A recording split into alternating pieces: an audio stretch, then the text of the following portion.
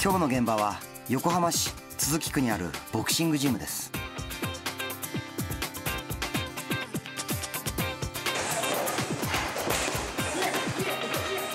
会員160名。そのうちライセンスを持つ40名がプロボクサーです。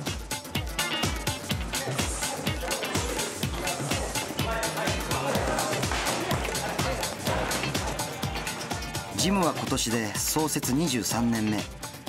これまでに1人の世界チャンピオンと5人の日本チャンピオンを輩出してきました。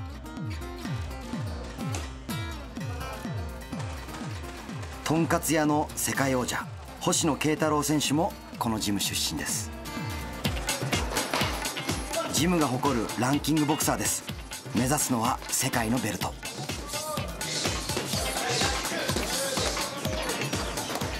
しかしそんな選手たちばかりではありません。一勝10敗2分けです。は1勝6敗です。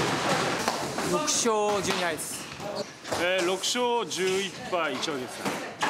5勝11敗1引き分負けても負けても戦うことを諦めない。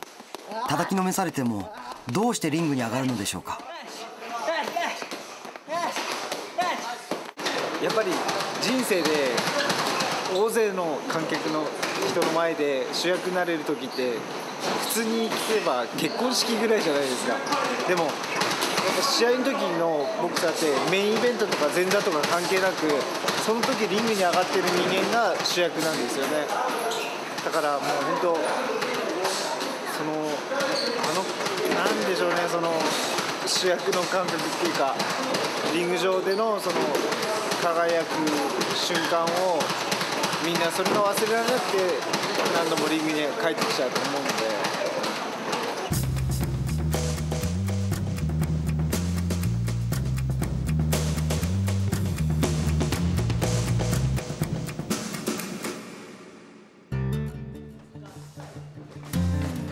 ボクシングジムの毎日は淡々と過ぎていきます。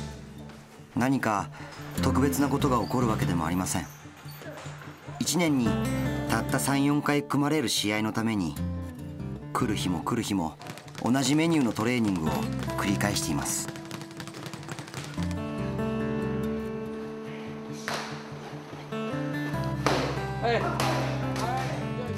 対戦相手を選んで試合を作るのは会長の手腕ですおいおいゴルさん。おい佐藤。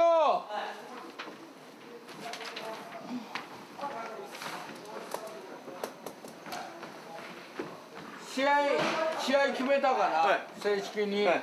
それで安田っていうのに変わったからあ安田は和之、はい。6勝4敗、はい。1KO な、はい。山流ジム、はい。で8回でやるから。あありがとうございます。な頑張れよ。頑張ります。ありがとうございます。もうバッチリ練習してくれよな、はい。ありがとうございます。な8回にしたら。はい頑張ります。おありがとうございます。よし。佐藤さんどうですか？テンションバリ上がりです。盛り上がりですか？頑張ります。8回。頑張ってください。はい。ありがとうございます佐藤明選手35歳。郵便配達をしながらプロボクサーになってもう17年目。この5年間勝ち星がなく現在7連敗中です。佐藤選手は一家の大黒柱。長く続いた連敗中に2人の子供が生まれました。子供たちはお父さんの勝った姿をまだ一度も見たことがありません。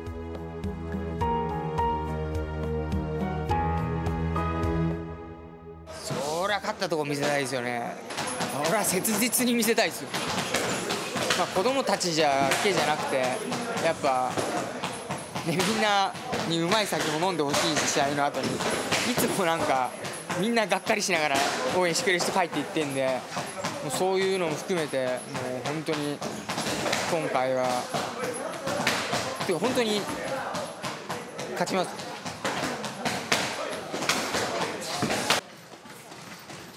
今度の対戦相手正直弱いといいんですがね。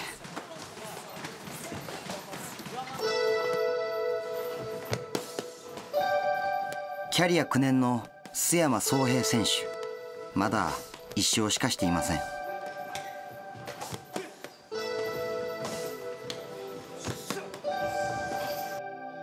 11年前大学を卒業し大手飲料メーカーに就職。はためからは順風満帆に見えました。一日なんか誰とも話さずに家出て仕事行って帰ってきて寝るみたいなそんなもう毎日が、まあ、延々と続くわけですよ。で休みの日も家で一人でいて誰とも話さずにみたいな。なんかそれだんだんなんかもうなんですかね。なんかもうなんで生きてるんだろう？みたいななんかちょっと言い方が荒れたらでも本当その時はそう思ったんですよね。須山選手のデビュー戦。黒のトランクスが須山選手です。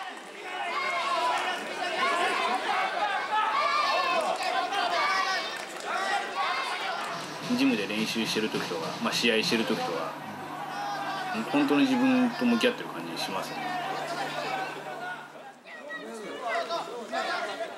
本当の自分と向き合う周囲に流されやすいですから私もかみしめたい言葉です。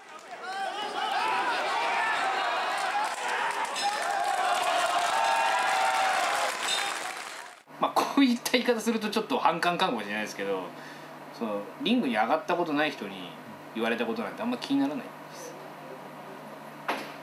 だからそうですね。結局なんか戦わないリングで戦わない人に言われたことってもうなんかあんまり関心ないというか。敗戦のショックでリングに上がれなくなった選手もいます。竹下陽太選手。それでもまだジムに通い続けています。鹿児島県に生まれ育った竹下選手はチャンピオンを夢見て上京。このジムにやってきました。ジムの合宿所に住み込んでのボクシング漬け。ここぞという試合で実力を発揮できませんでした。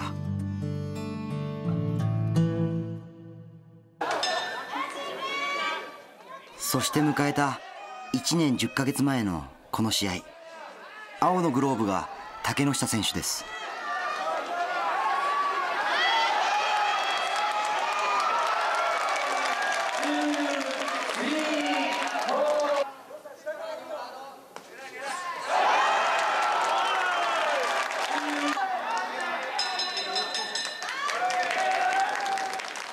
こたま殴られレフリーストップの TKO 負けでした。あ虚しかったですし惨めでしたし。も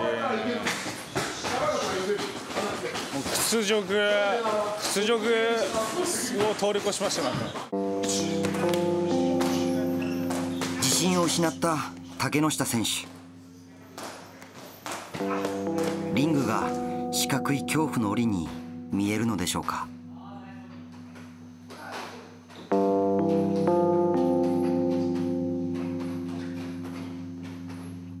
かなり焦ってますね。はいもう26歳って言ったらもう俺はかなりもうこれでもしボクシングやっててもまたボクシングやって頑張ったとしてももう終わる時にやったらもう30じゃないですか。この時に何も残ってないボクシングしかやってなかったら何も残んないわけじゃないですか。一般の人からすれば。そういうのも焦りますしもし区切りつけてやめて、まあ、仕事して頑張った方がいいのかなと思いますし。内装の仕事をしながらプロになった田村博夢選手。悲願のあと1勝それがボクシングを諦められない理由です。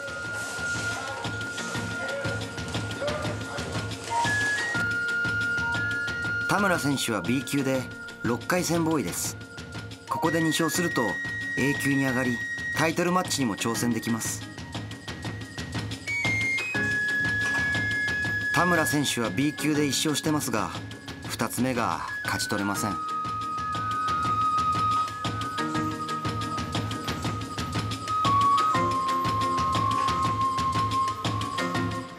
僕の戦績だとやっぱりもう今やめちゃったらもうただの6回戦のボクサーで、まあ、負け負け越しで何も残らないじゃないですか名前なんか、まあ、勝って A 級になってランキング入って、まあ、チャンピオンぐらいになればチャンピオンになっているじゃないですか。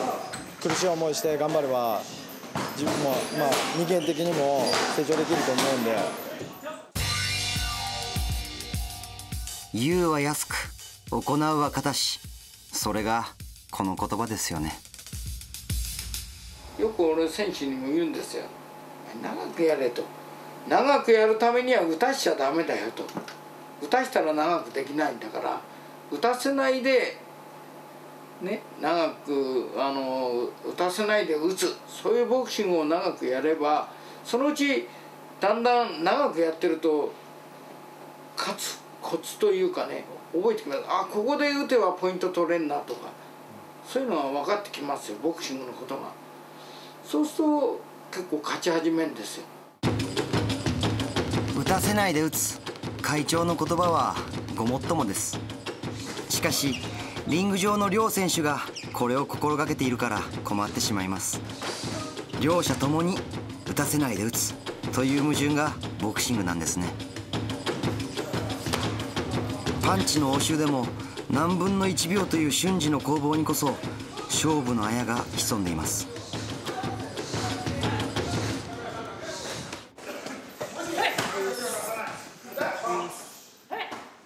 試合を10日後に控えた佐藤選手がやってきました。郵便配達ご苦労様です。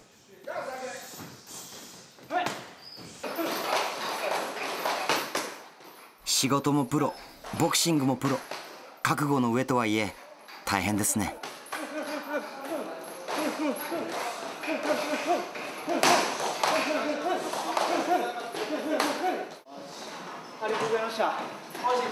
え今日仕事きつかったですか？仕事まあまあきつかったですね。結構遅くまで仕事だった体重い結構ずっと今週練習結構上げてきたから。年ですね。疲れが抜けないの。でここで負けちゃいけないって会長に言われたから今日休んじゃおうかなと思ったんですけど来ました。来ました。ここで負けちゃいけない早いなくじけんのが。と思ってプロボクサーには37歳が定年という規則があります。35歳の佐藤選手はリングに上がれるのもあと2年です。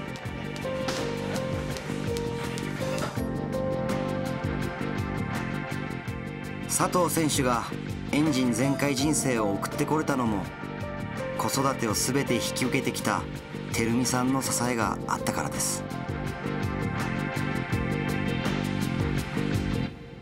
俺にはもう守らなくちゃいけない家族っていうのができたんでもうそれはもう優先しだから普通だったらボクシングなんかやってられないかもしれないですよね。普通だったら。でもやっぱそれはうちのちのかみさんの協力ややっぱ子供たちもちっちゃいながらに協力してくれてるんでそれで俺が好きなことができてるんでね。本当そういう意味では。もうやっぱ優先順位をつけたらやっぱり一番大切なものは家族なんでやっぱ家族を守るためにはボクシングじゃなくて郵便局の仕事をしなきゃ暮らしていけないんだね。佐藤選手。今回は普段にも増してロードワークに励みました。そして激しいスパーリングもメニューを超えるラウンドを消化しました。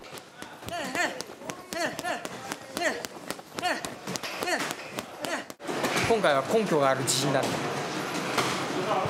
本当にやってきたんでこの間の試合から。多分みんな泣かせますよ。本当に。期待してな。い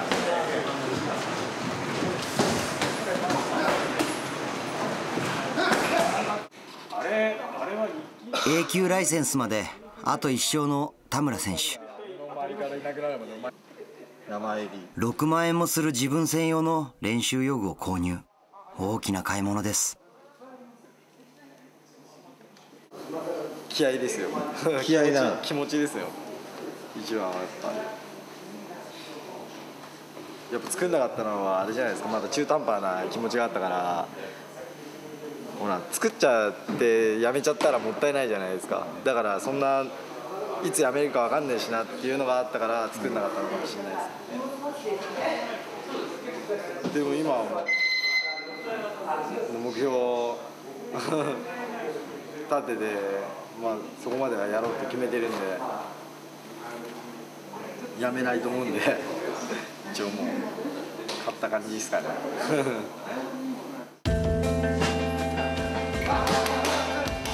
田村選手のパンチを受けているのはトレーナーの石渡陽介さんです。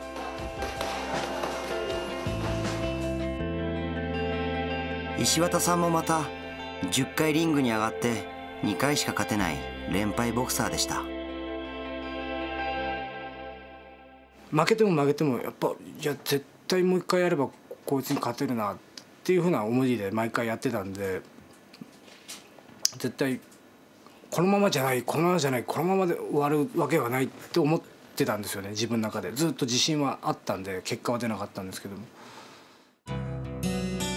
現役引退後はトレーナーになりました石渡さんは選手に強さや技を授ける以外にももう一つ大事な要素があることに気づいていました。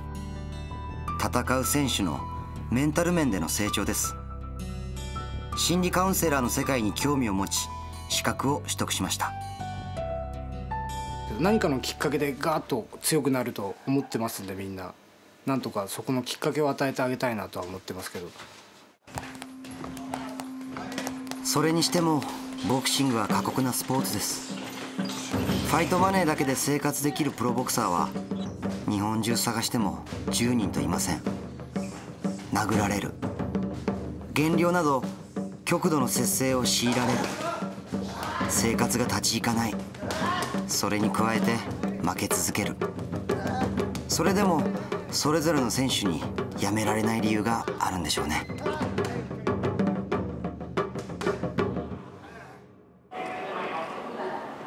いよいよ佐藤選手の試合の日です。応援団と一緒に家族も会場にやってきました。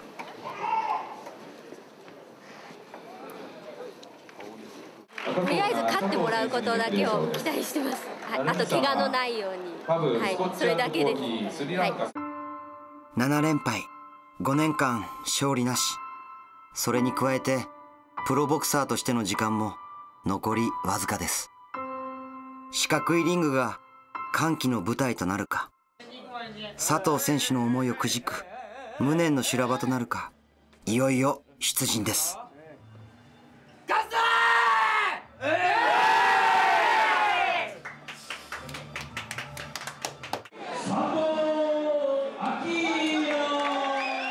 リングに上がってはお父さんでも郵便屋さんでもありません。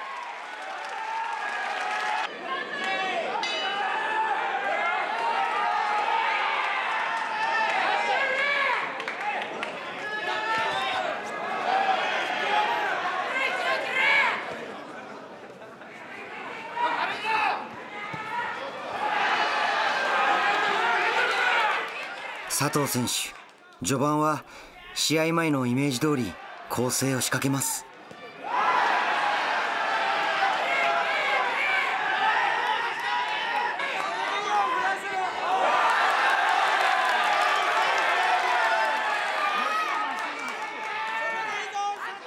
相手に打たれないで打ち込んでいます。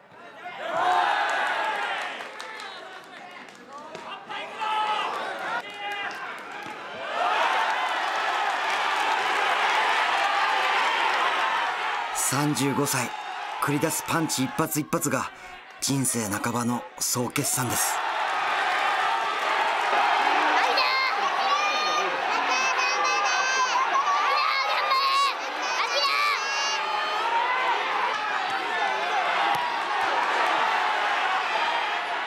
相手の選手も打たれないで打つ極意を思い出したのでしょうか。中盤から試合の流れが変わりました。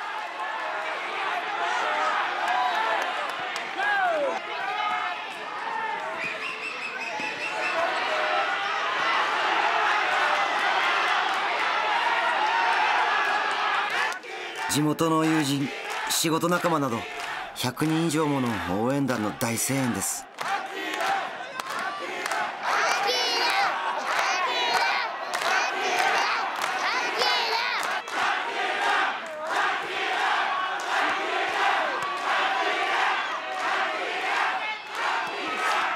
振り絞ってもなお最後の最後の力を出し尽くします。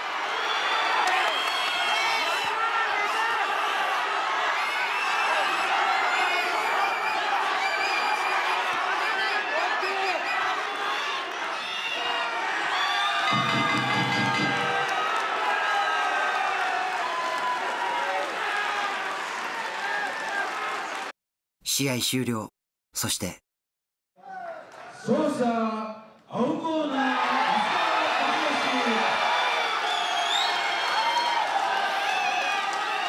結果は判定負けでした。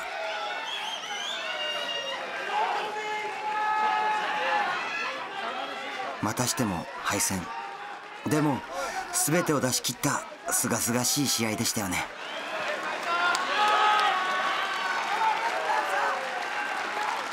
かっこよかった株式会社 FCC 残念ですね勝ってくれると思ってたんで、はい、でもいいとこいい試合見れたんでよかったです、はい、これで8連敗。佐藤選手何を考えながらリングを降りたのでしょうか。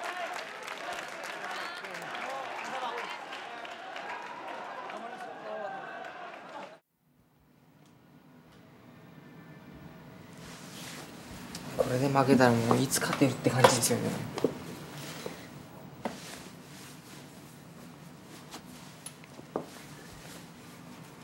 最後にやっぱ自分の弱さが出ましたよね。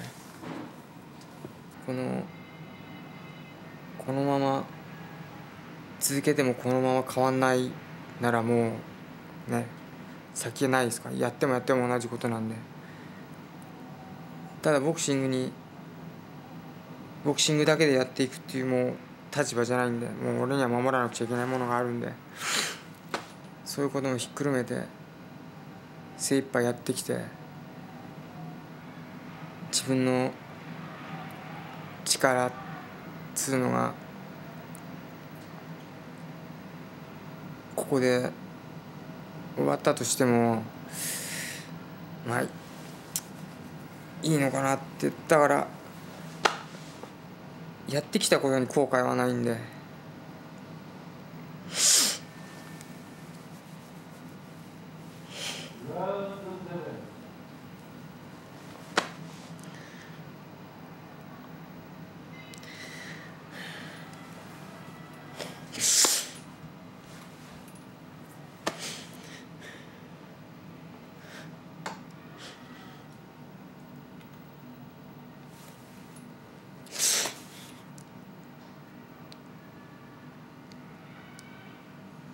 やっぱり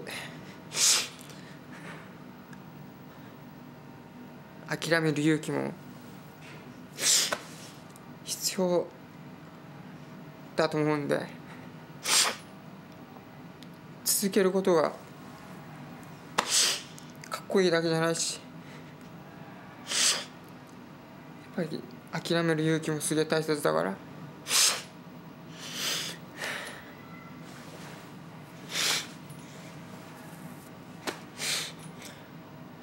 ち負けは自分だけのことなんで。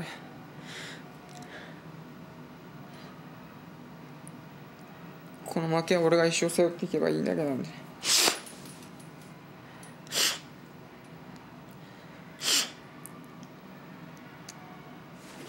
ただ引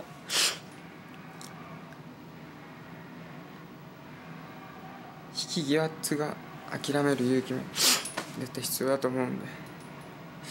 そこでもひっくるめて考えて。いけます。でも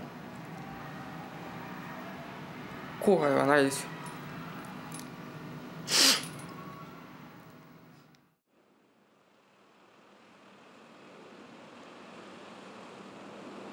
佐藤選手の試合から2週間が経ちました。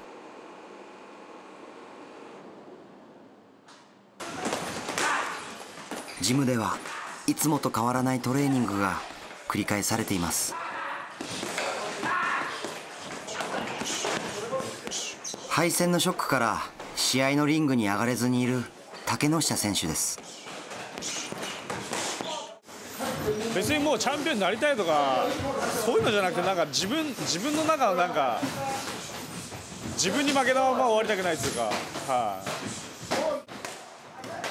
一勝しかしていない32歳の須山選手です。やめられないんですよ結局。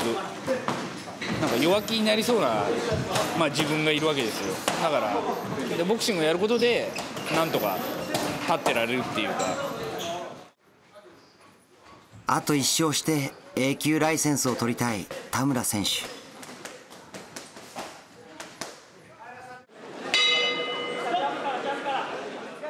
昨年12月と今年の3月に試合が組まれました。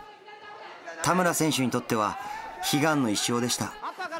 しかし相手の選手にも負けられない意地があります。田村そこ止まんな止まんな止まんな。押すか打て押すか打て。押すか。あとで2試合とも敗れました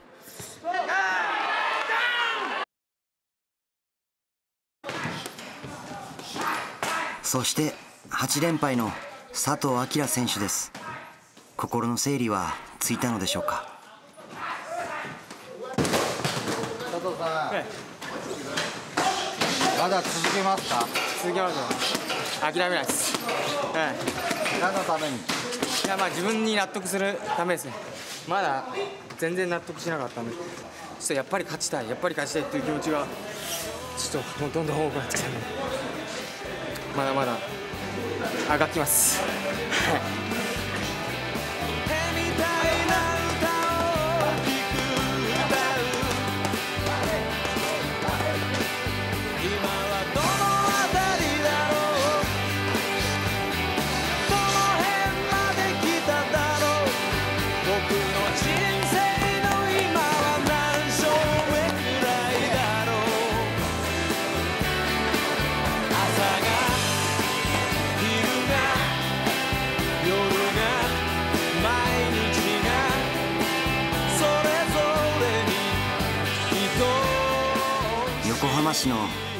なボクシングジム。勝ち負けを超えた熱い闘争心が躍動していました。